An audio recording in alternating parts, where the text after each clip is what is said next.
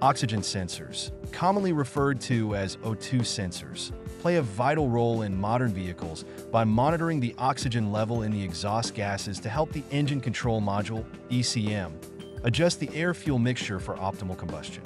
This not only ensures efficient engine performance, but also helps in reducing harmful emissions. However, for various reasons, including performance tuning, bypassing emissions tests, or dealing with a malfunctioning sensor, some vehicle owners might consider tricking or bypassing these sensors. This article delves into five methods of tricking an O2 sensor, examines the implications of each method, and discusses whether bypassing an O2 sensor is ultimately beneficial. One of the most direct methods to trick an O2 sensor is by installing a dummy or simulator sensor. This device mimics the electrical characteristics of a working O2 sensor, but doesn't actually measure anything. The dummy sensor sends a constant, preset signal to the ECM, convincing it that the exhaust system is functioning correctly. This can be particularly useful if the catalytic converter has been removed or is not working, as it prevents the check engine light from coming on due to the absence of correct sensor readings. To implement this method, one must physically remove the existing O2 sensor, which is usually located in a hard-to-reach area of the exhaust system, and install the dummy sensor in its place.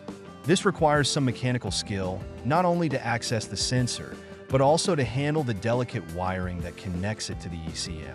Care must be taken not to damage the wiring or the sensor's threads during this process, as incorrect installation can lead to further issues.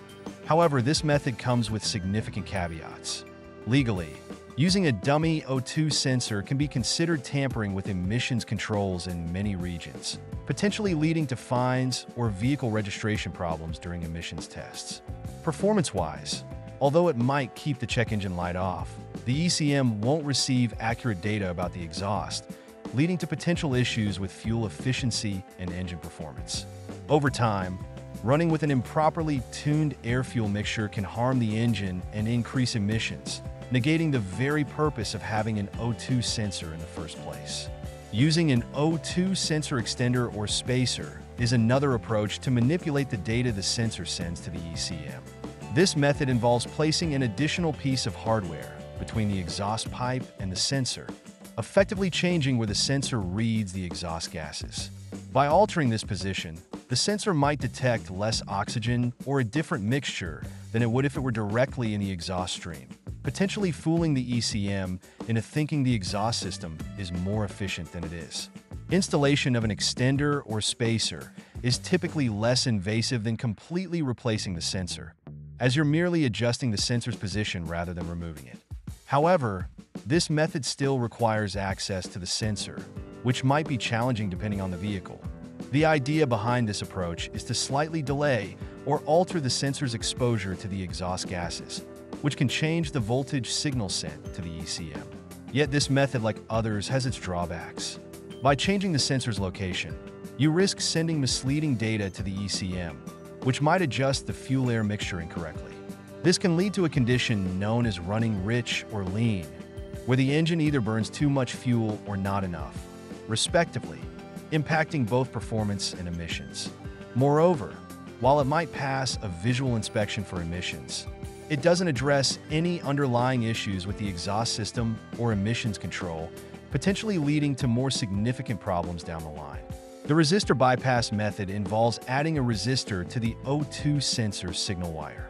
This resistor can create a voltage drop that mimics what a properly functioning sensor might send to the ECM, particularly for sensors located after the catalytic converter, which are meant to monitor its efficiency rather than the fuel-air mixture. By choosing the right resistor value, one can simulate a sensor output that suggests the catalytic converter is working fine, even if it's not. This method requires some electrical knowledge to determine the correct resistor value, usually around 0.45 volts for post-cat sensors, and to connect it properly to the sensor's wiring. It's a relatively cheap and non-invasive method since no parts are being replaced. However, precision is key to avoid sending a signal that's too far from what's expected. The downside here is significant. The ECM is essentially fed a static signal that doesn't change with engine conditions.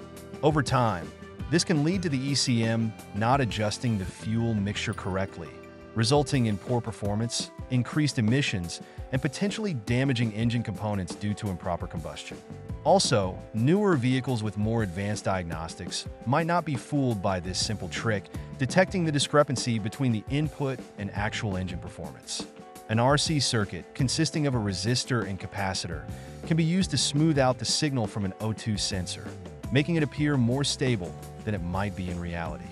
This method involves connecting both components to the sensor's wiring to create a circuit that charges and discharges, providing a less erratic signal to the ECM. This can be particularly useful when dealing with a sensor that fluctuates too much due to a fault, but isn't recognized by the system as failing outright.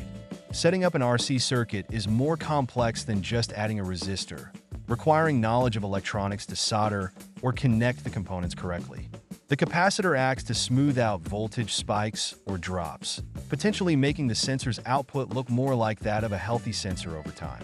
However, the major issue with this method lies in its inability to adapt to real-time engine conditions.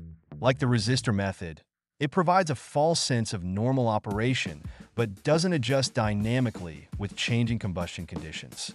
This can result in the ECM making decisions based on inaccurate data, leading to suboptimal engine performance, higher emissions, and possibly engine wear. Additionally, the reliability and longevity of such a setup can be questionable, especially under varying driving conditions. Reprogramming or reflashing the ECM is the most sophisticated way to bypass or trick an O2 sensor. This method involves altering the ECM software to either ignore O2 sensor data or set a fixed fuel mixture that doesn't rely on sensor feedback. This approach is often part of a larger performance tuning effort, where enthusiasts aim to optimize their engine for power or efficiency beyond what the manufacturer intended. This method requires specialized tuning software and hardware, and typically, professional assistance or deep technical knowledge, as incorrectly modifying the ECM can lead to engine damage or failure. The software can adjust parameters so that the ECM doesn't throw a check engine light for sensor issues or can be set to run at a constant air-fuel ratio, which might enhance performance in modified engines. However, this comes with significant risks and considerations. Legally, altering emissions control this way can be against the law in many areas, potentially leading to penalties or vehicle failure during emissions tests. From a performance perspective, while you might achieve desired power outputs or fuel efficiencies, running an engine outside of its design parameters can reduce its lifespan, increase emissions, and void warranties. Moreover, such modifications require ongoing maintenance and tuning to ensure the engine remains balanced and healthy. Bypassing or tricking an O2 sensor might seem appealing for short-term gains or to skirt around emissions checks, but the long-term implications need careful consideration. Legally, tampering with emissions controls is often against regulations, which can lead to fines, failed inspections, or more severe penalties. From an engine performance standpoint, while initial gains might be observed, the lack of accurate sensor feedback can lead to inefficient combustion, increased fuel consumption, and higher emissions over time. The potential damage to engine components from running with incorrect air-fuel mixtures can be costly, not only in terms of repair, but in reduced engine longevity. The cost-benefit analysis often tips towards addressing the root cause, whether it's a faulty sensor or a need for performance tuning, through legitimate means. Properly diagnosing and fixing issues or opting for professional tuning that works within legal and sustainable frameworks might cost more upfront, but save money, legal headaches, and environmental impact in the long run. For most vehicle owners, the wiser approach is to maintain or upgrade their vehicle systems without compromising the integrity of emissions control or engine health.